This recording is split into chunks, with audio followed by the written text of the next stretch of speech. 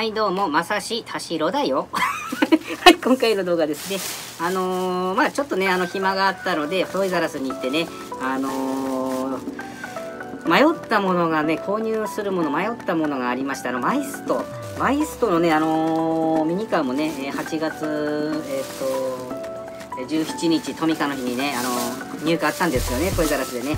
でねもう一回ねあの見て欲しいと思ったら買おうと思ったんですけど結局買いませんでした。あんまり気にあのねすごくねあのデザインとか、えー、質感はいいんですけど確かえっ、ー、といくらだったかな。えっ、ー、とね700円以上するんですよ。754円税込み。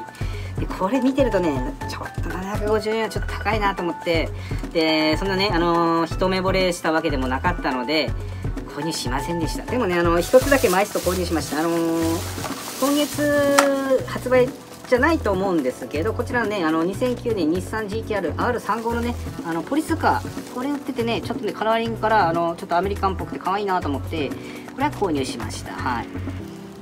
なんかねあのこれは多分ね昔に発売されたと思うんです。あの新発売っていうコーナーと普通のマイストのコーナーがあって新発売のところはねあの8月17日に発売になったものいっぱいあったんですけどね例えばねえー、何だったっけな。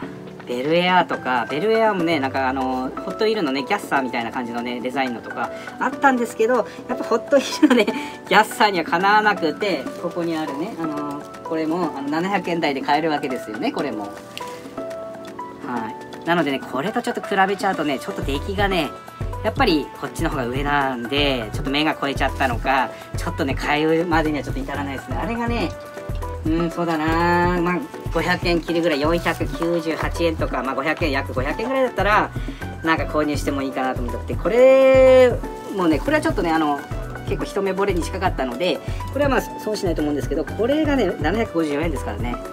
ちょっとね705まあ開けてみないと何とも言えないですけどね。はいあので他のアメ車ね結構あったんですよね。エルカミンあえっ、ー、とリビエラとかファイ黄色のねあの皆さんもねあのアメ車好きな方ならあのトイザらス行った時目にしたかと思うんですけども黄色黄色のボディにファイヤーパターンがなんか赤か茶色かなんかちょっとねそういう感じであの結構かっこよかったんですけどそれもねなんか見るとねこう見るとね700まああのホットイールにはちょっとね劣っちゃうなってやっぱホットイールに劣るとやっぱあんまり欲しくないわけですね。ちょっと安ければ欲しいんですけどね。だからその一目惚れもしなかったのであの今回のねマイストーン発売された、えー、ものは購入しませんでした。もうちょっと安く提供してくれるとね結構売れると思うんですよ。あれ出来は悪くないですから、まあ、ブリスター越しに見てるのでまあ何とも言えないですけどまあただねやっぱりねホットイールと比べるといまいちだなって感じはしちゃいました。はい。でもかっこいいんですよ。でも迷うぐらいですからそんな悪くはないんですよ。はい。でね余計なものを買っちゃいましてこのジェイダトイズね。これまた買っちゃったよこれ。スケール殺傷の 疑惑がある。もしかしたら思ったんですけどジェイダトイズのが正しかったりしてねここにね64分の1ってこう書いてあるんですけど。どうもねやっぱ他のね、えー、ミニカーと比べちゃうと大きいなっていうのがあるんですね。まああのその辺ね開封した時手元の動画でねやるのであのちょっと比較したいと思います。これデザインがでもかっこよくてねでかかったけど買っちゃったんじゃ。はい。でねもう一個、えー、ジェイダトイズ。ジェイダトイズだよねこれで、え？なんかもうジェイダトイズって思い込んじゃってるからあれなんだけど。書いてないな。あれ？これジェイダトイズじゃなかったっけ？あジェイダトイズでよかった。ごめん。ジェイダトイズでよかったです。はい。後ろのね。はい。でねこれも買っちゃったの。かっこよくて。これねあのー、今月あ来月か。来月の9月にね発売されるあのーホットイールのね、チートラね、チームトランスポートにまたね、あの再販になるこのスカイラインみたいなカラーリングのがね、あのジェイダトイズでも出てたので買っちゃいました、これ。はい。かっこいいんだもんだって。これも64分の1ってね、書いてありますね。だからもしかしたら、グリーンライトとか、ジョニーライティングとか、M2 マシンが間違ってて、ジェイダトイズの64分の1が正しかったりするかもしれないですね、これね。どうなんでしょうか。その辺ね、あの、寸尺でね、測ったことはないので、まあ、あの、正確なことは言えないですが、ただね、あの、M2 マシンと、えーえーと、グリーンライトとジョニーライトニングとなんかはあのこう並べるとねちょうどいい感じになるのでどうなんでしょうね、はい、でもデザインはかっこいいのでね、まあ、この辺もね他のね箱スカとちょっと並べたいなと思って、まあ、手元のとこで見てくださいね、はい、これがねあの2つとも価格がねなんかあのクリアランスって出てたんですけど多分クリアランスはこれじゃなかったと思うんですよ。これはえー、645円です。645円。はい。これもねちょっとねほんとねあのー、ジェイダトヨさんにお願いしたいのはスケールをやっぱねグリーンライトとかに合わせてくれると安めでねちょうどいいと思うんですよね。グリーンライトが約1000円ちょっと切るぐらいでしょ？でこっちがジェイダトーズが645円となるとやっぱりねあのスケールをもうちょっとちっちゃくするとね売れると思うんですけどね。どうなんでしょうね？わかんない。でも64分の1って最近あのねはや流行りじゃないでしょうけど結構人気があるらしいのでねいいと思うんですよね。はい。でねあのー、この3体はね実はレジでねえー、買おうと思って並んでたんです。で今日ね行ったのは日曜日だったので結構レジが混み合っててぼーっとねレジ待ちしてたらねなんか私の隣にねワゴンがあったんですよ。それもねぼーって見たらん？ホットウィール？レジ前にですよ。ホットウィールが置いてるなと思ってこんなの新発売でもないのになんでかなと思ってパッて見たらねあの表示価格より50%オフっていうことで えっとねこちらのねユーロスタイル？っていうんですか？これユーロスタイルのね2台がね50%オフで売られてました。この2種類しかなかったです。この2種類がね結構ね15台ぐらいあの2列になって並んでたかなはいこれを購入しましたこれがね価格がえーとですね、普通であれば、え、378円。まあ安めのラインナップなんですね。これでもリアルライダーですよ。でも安いですよね。リアルライダーで370これもしかしたら、あのー、378円に値下げしてさらに50%オフだったかもしれないですね。うん。そんな気がする。リアルライダーでやっぱり300円台ってありえないですもんね。だからね、すごくいい買い物したかなと思います。結局187円ですからね、これね。ベーシックカードよりも安いリアルライダー2台がね、買えたので嬉しかったですで今回はこの 5, 個購入しましたはい、えー、これをねあのブリーバリしていきますのでどうぞねあのご視聴くださればありがたいかと思いますそれでは手元の視点に切り替えます X え？それではね手元の、えー、視点で、えー、ブリバリこちらはしていきましょう。えーと、こちらはですね、マイストですね、マイスト。私、マイストの、えー、ミニカーは初めて購入しました。結構ね、もうブリスターカードがね、あの、傷だらけで、この辺のね、角なんかもこんな感じになってるので、これ相当ね、売れ残ってたんだと思うんですね。はい。やっぱりね、値段が若干ちょっと高いですね。754円でしたかね。もうちょっと安いとこれ売れると思うんですけどね。はい。えー、裏はこんな風になってね。やっぱりね、ホットウィールとかと比べるとちょっと寂しいですよね。はい。で、えー、この感じですね。絵はね、結構かっこいいですね。この辺に白バイ、白バイっていうんでしょうかね、アメリカもね。みたいに映ってて、かっこいいかと思います。じゃあ開けてまいりましょう。やっぱりね、髪もね、なんかね、柔らかくもなってて、あ、こういう風にサンドウィッチマンになってました。ちょっと何言ってるかわからないですね。あ、これこそ浮いてます、浮いてますですね。ユリ・ゲラーの浮いてます、浮いてます。え、ユリ・ゲラーじゃなくて、マリックさんの方じゃないですか。浮いてます、浮いてますは、はい。じゃーん。わー、ちょっとね、かっこいいと思います、これは。あー、なるほどね。やっぱ開けてみるとね、よく、あ、あ、プラスチックか。シャーシャープラスチックのですね。はい。じゃーん。あ。じゃーん。あー、なんか、ホイールが微妙。やっぱりね、このプラスチックの質感は良くないですね。あのー、この前ね、あのー、マイストじゃなくて何でしたっけ？えっ、と すぐね、忘れちゃう。えっ、と、これこれこれ。これ今後ろにあったのでちょっと出しますけど、これ何でしたっけ？これ、これ、これのメーカーなんだっけ？あ、これ裏見れば書いてあるか。えーと、あ、ブラゴですね。ブラゴのようにね、やっぱりね、このホホイールの質感がブラックだといいかなってね、あの、私伝えたと思うんですけど、今回これね、ブラックの無塗装のね、ホイールをちょっと目にしてですね、やっぱちょっとね、ここを変えるだけでね、売れる気がしますね、これね。ちょっとやっぱり質感がよく、よろしくない感じはあります。ただね、ボディなんかのね、あの、このデザインがめっちゃかっこいいっすよね、これ。この辺わーかっけえ。わーかっこいいっすね、これ。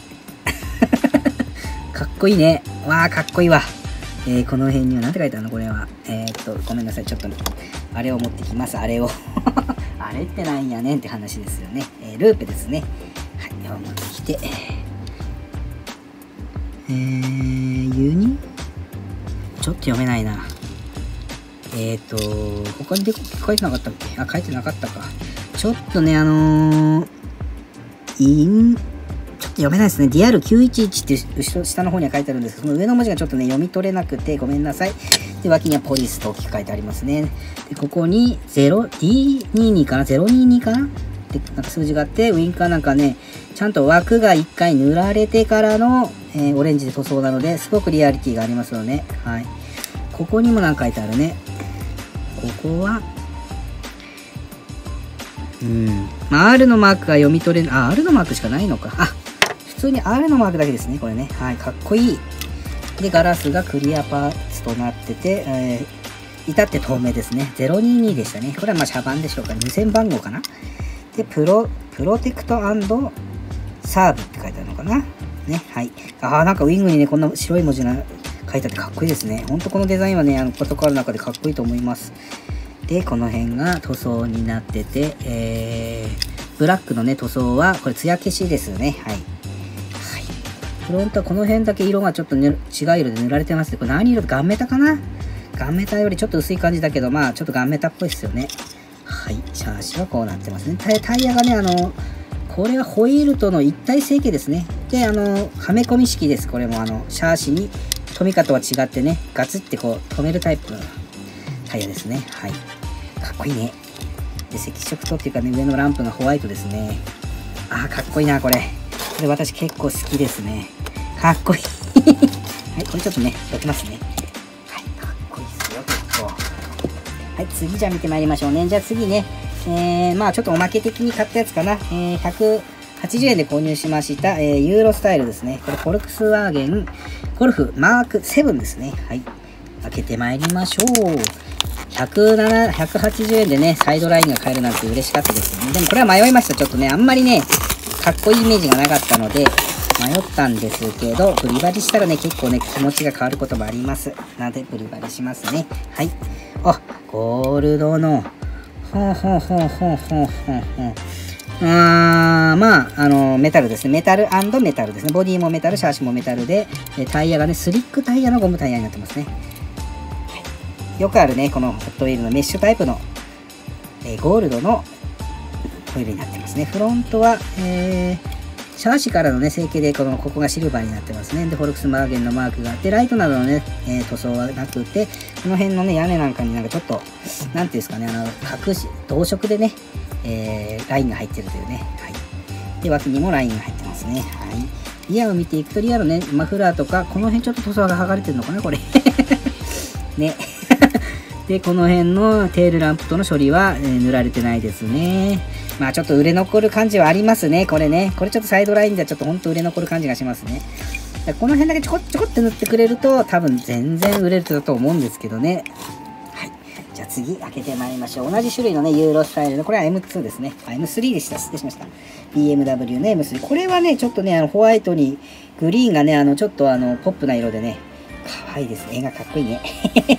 これはね、セクシーラインの M3 ですよね。はい。BMW。この前のサイドラインにありましたよね、M2 確かね。これ、なんかテープで止められてんな、この辺。なんでだろう。あれ？ほら。なんかこれテープで止めてあるのかな、これ。ほら。もう古いからこうやってテープで止めないと、あれかね、あのー、取れちゃうと思ってやったのかね、これね。わー、結構これはちょっとお得でしたね。これは良かったですね。ポップ私結構ポップなの好きですのでね。ポリーゼイって書いてありますね。は。ぼやけちゃって。はい、ポリーゼイ。あ、ホイールは先ほどのメッシュタイプと一緒ですね。ただちょっとね、あの、塗装がされてなくて、ブラックですけど、このリムがね、ちょっとシルバーになっててね、これちょっとかっこいいですね。とてもこの車に合ってる気がしますね。はい。あれ、ちょっとピントが合わないな。ちょっと光らせすぎかな。はい。フロントマスクは特にね、塗装ないとない。この前のあれと一緒ですね。あの、フォルツァ4でしたかね。あのゲームの。もこっちの方がかっこいいですね。はい。ちょっとごめんね。はい。ピントがぼやけたりだったり、大変ですね。はい。ダメだね。ちょっと一回。ダメか。あ、あれ？はい。ダメっすね。ピントが合わないんじゃ。まあ、ポップな部分伝わればいいかな。この辺何かのマークがありますね。はい。ここが可愛いね。なんかあの、チェッカーフラッグみたいな感じでね。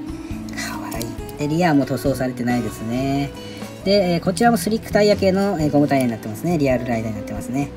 ここに、えー、W8303 って書いてあります。あ、ここになんかね、ちっちゃく、なんかのマークがありますね。これなんだろう。あマークというよりは何かのあれですかねなんかパーツですかねこれ字じゃなかったですはい何かのパーツみたいですね車を釣る時のフックみたいなのがここについてるのかなあここにちゃんとこうリハで塗られてた。リアのこのフェンダーのところはかっこいい。結構かっこいいですねこれ。ポップで。あこれなかなか良かったな。これはほんと超得でしたね。すごく気に入りました。はい。M3 はいいっすよねこのセクシュアルですよね。ここがボコボコってなっててね。はい。はい。じゃあね次を見てまいりましょう。次この車掌車車え車窓疑惑ですね。64分の 1JDM チューナーズダイキャスト化本格仕様の日本車のダイキャスト化コレクション仕様対象年齢8歳ってなってますね。今回のねラインナップははい。えー、1995年トヨタスープラですね。今回購入しましたね。あと日産スカイライン GTR-R34 これはちょっとなかったですね。これはもう売り切れてました。やっぱブルーっていうのは人気なんですかね。でトヨタ FT 1コンセプト、えー、グリこれもねちょっと迷ったんですけどコンセプトかと思ってね。でもかっこよかったです、結構。はい。で、その下の段行くと2002年、ホンダ NSX タイプ R、ジャパンスペックワイドボディですね。はい。これもなかったですね。うん。で、このブラックの日産 GTR R35、えー、ベンソープラ。これもなかったですね。はい。で、えー、2002年三菱ランサーエボリューション。でね、この64分の1ってね、ジェイダトイズではいつも言ってますけど、ね、めっちゃでかいんですよ、他のと比べると。はい、その辺もね、ちょっとあの見ていきましょうね。はい。じゃあね、ちょっとそのミニカー用意しとこうか。ちょっとお待ちを。ちょっとね、用意が整いましたので、こちらをね、ちょっとブリチョキしていきますね。はい。絵は結構かっこいいですね。だからスケールだけが問題なんじゃ。はい、結構かっこいいんですよ、これ。はい、これいくらでしたっけね ?700、600何十円ですよね。これめっちゃ価格はね、いいんですけど、スケールがね、いつも本当にね、欲しいなと思うんだけどね、諦めてたんですけど、今日は買っちゃいました。ちょっとかっこよかったんでね。はい。これはね、ブリチョキですね。チョキン、チョキン、チョキンなチョキン、チョキン、チョキンなですね。チョキン、チョキン、チョキンなチョキン、チョキン、チョキンなと。はい。はい、3方向切ったので、これでね、取れるかと思います。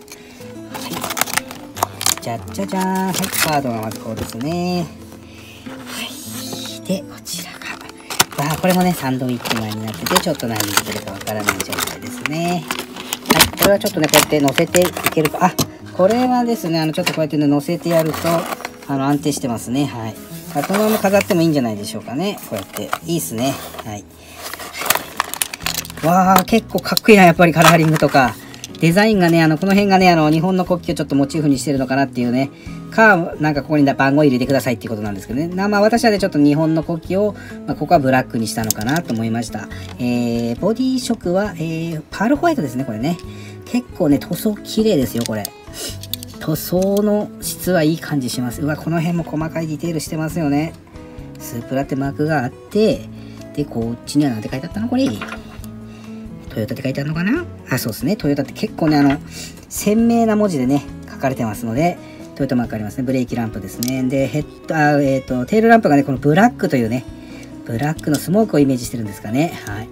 このヘッドライトもね、だからこれかっこいいっすよ。デザインがすごく。で、グリルはね、これシャーシからの正規ですか。ジジェイダトイズのプラスドライバーですね、これね。カシメではなく。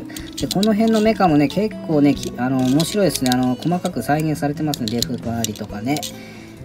はい、かっこいいなこの辺にね、えー、メーカー、まあ、ロゴですかね。えー、BGM、BCM かな？にエンドレスに NX ですね。で、ドアノブナンプも立体的な。あ、ほんとデザインかっこいいな、これ。スカンク2、えー、レーシングって書いてありますね。かっこいい。ほんとデザインがかっこいい。で、ホイールも、あ、結構ね、プラスチックの質感は安くないですね。安っぽくないですね。ゴールドですね。これ塗装されてるのかな？だからかな？うん。で、えー、ゴムタイヤですね。リアルライダーになってますね。結構ね、ほんと J ダトイズこれ、価格の割にね、すごくかっこいいんですよ。毎回思うんですけど、ただスケールが、じゃあ、このね、64分の1ブロンコ、これをはじめとして、これどう見ても64分の1じゃないんだけど、みたいなね。はい。ね、ちょっとね、あの、他の、先にね、あのな、比べる前にもう一個ね、ジェイダトイズのがあるので、えー、開けてまいりましょうね。それがこちら、箱スカですよ。皆さん大好き。えー、おそれ、あ、645円ですよ。だから安いっすよね。これはね、本当あの、クオリティの割にすごくいいと思いますよ。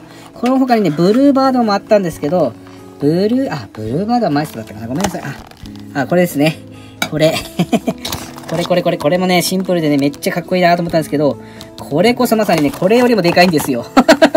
ボーンってでかくて、うわ、これはちょっとと思ってね、これはね、意外と、このスープラもそうでしたけど、他のミニカーと並んでなかったら意外と気づかないで買っちゃうかもしれないですね。これ6、おこれ64分の1だとかって言ってね。ブリチョキしていきますね。チョッキン、チョッキン、チョッキンな。チョッキン、チョッキンな。はい。で、下をやって、チョッキン、チョッキン、チョッキン。これグリーンライトと同じ方式ですよね。はい。パッケージよく見なかったですね。ごめんなさい。まあ、ラインナップはね、先ほどのと一緒ですよね。あ、違う あ。ラインナップ、ちょっとね、じゃあカード出してね、あの、見ていきましょう。先ほどのとはシリーズがこれ違うんですね。先ほどの裏に書いてあったラインナップとちょっと違うようです、これ。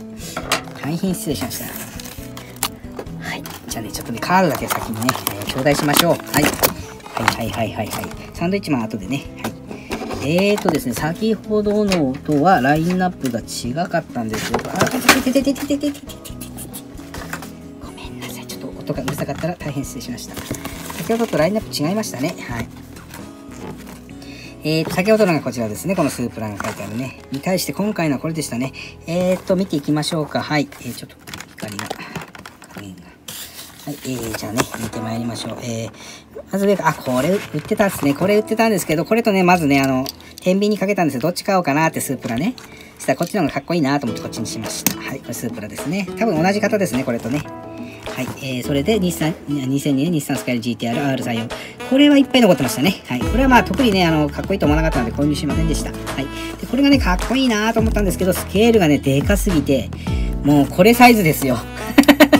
なのでやめました。で、これも売ってましたね。これもね、なかなか悪くないサイズ感ではありますけど、まあ、3インチミニカーとしてはちょっとでかい感じでしたね。で、日産 GTR R35、これはなかったですね。で、今回これが1台だけ残ってたので、購入できました。えー、1971年日産スカイライン 2000GTR-C10 ですね。かっこいい。ね、チンスポとかついててかっこいいんじゃん。じゃね、えー、開けていきますね。これはちょっとスケール違いでもデザインがかっこよすぎてね、買ってまうやろ。わあ、ホイールがやっぱりかっこいいな、これ。これはいいっすね、また。はい、じゃあ見てまいりましょう。うわあ、かっこいいな。いやいやいやいや、かっこいいかっこいいかっこいい。ちょっと光りすぎる。すぐ光りすぎるから。これ、リアかっけー。うわーこれ何クリアパーツですね、これ多分。え、塗装か。そうですね、塗装ですよね。失礼しました。あの、ちょっとね、あの、透明度のあるというかね、塗装になってますね。はい、クリアっぽいね、GTR のマークがあってね、GTR の R がね、白なんですよ、これ。かっこいい。で、ここにスカイラインのマークあります。なんかかっこいいですね、この造形、本当に。で、リアウィングが、えー、スポイラーウィングがついてて、えー、内装なんかもね、結構ね、細かに作られてますね。ブラックでね、ちょっと覗き込めない、込むてもよく見えませんが。で、まあ、ドア開閉ギミックがないのでね、あの、あ、これちょっと満足度高いな。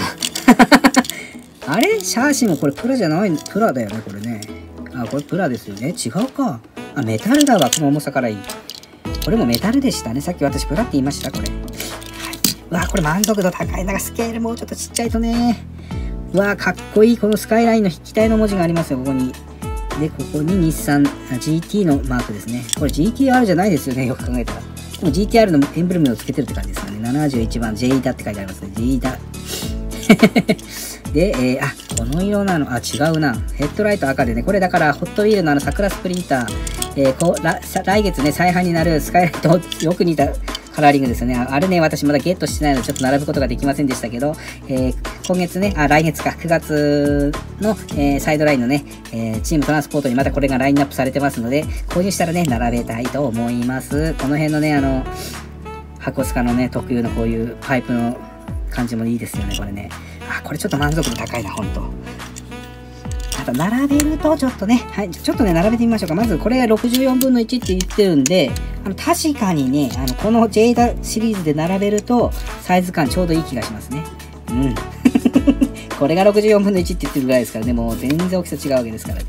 で、えー、他のスープラとまず並べてみますかね。えー、っとですね、こちらのトミカ、えー、なんだっけ、これプレミアムだったかな？これが62分の1ですよ。はい。62分の1と64分の1、これ並べて、これ こいかがなものかと。もうお兄ちゃんですよね、だいぶね。だいぶお兄ちゃん、あ、ちょっとね、視点下げた方がいいかな。ちょっと下げてみましょうね。で下げてみました。かっこいいですよね、やっぱりね、こうやって見ると。ただ並べた時にやっぱりスケールが全然違うんじゃないんですかって話になっちゃうわけですよね。これは62分の1ですからね、このスープラね。これ同型のスープラだと思われます。もう全然大きさ違いますね。はい。はい、もうこ、親亀、子亀って感じになっちゃいます、これ。はい。まあ、これスケール度外してみるとね、ほんとこのデザインかっこよくてね、あの、ミニ GT のね、スープラも最近発売になったでしょ？あれはね、すごくいいスケール感ですね。だからこれと並べるとすごくいいと思うんですけど、デザインがね、ただのホワイトでね、ちょっとあの、これ持ってるのでもうさらそんなにさらにいらないなと思ってね、そんなに特別好きな車種でもないのでね、はい。かっこいいんだよな、本当にデザインが。なんかジャパニーズヒストリーって感じですよね。ブラックのまたライトが似合って、このデザインはすごい秀逸ですよね。で、これがね、あのー、まあ、ホットエルのスープラなんですけど、まあ、これと並べてもね、もう全然大きさ違うわけですからね。はい。で、こちらがね、トミカのスープラですよね。これはまあ、形違いますけど、これは、えー、スケールが60分の1なんですよね。だからこっちの方が本当は大きくなきゃならないと思うんですけどね。64分の1がでかいというね。はい、完全に、えー、スケールさ、さ、スケール詐称疑惑が出ておりますが、とてもかっこいいです。じゃあね、今度はコスカの方をね、ちょっと並べてみてみましょうかね。かっこいいでしょ。かっこいいね。でね、これね、なんかリアがめちゃくちゃかっこいい、この GTR。ホワイトでなんか、すごいシンプルに作られてるね。で、バンパーが取っちゃってる形になってんのかな、これな。ね。ほら、バンパーをね、取っ払ってる感じのカスタムですよね。うわー、これがね、トミカの GTR ですね。これは、えー、60分の1ですね。はい。これ全然違うんじゃ。違いすぎる。60分の1だからこっちの方が大きくなきゃならないのにね。64分の1のがめっちゃでかいんじゃ。でね、こちらの箱スカムーンアイズ。これがね、グリーンライトの、これが正真正、まあ、正真正銘というかね、あの、グリーンライトがまあ、私の基準にはなってるんですけど、これが64分の1の箱スカなんですね。で、こうやって並べてみると、もう、もう全然違う 恐ろしいぐらい違いますね。はい。ってなわけでね。まあこれ、あの、ちなみにね、これ、ケンメリのトミカだったかな、これは。そうですね、トミカの、これはスカイライン 2000GT ですね。これはケンメリの 2000GT ですね。これも、これが、えー、64分の1だったと思ったんですけど、そう、これが64分の1なんですよ。かっこいいね、それ。はい。なのに、このサイズです。じゃん。ガリバーかっちゅうね。はい。えー、そしてですね、あの、さ先ほどのね、あの、パトカー、これ、これの GTR35。これかっこいいね。ほんとかっこいい。これホイールも見てね。ちょっと弾くとこお見せします。わー、かっけえ。いやがかっこいいっしょ、これ。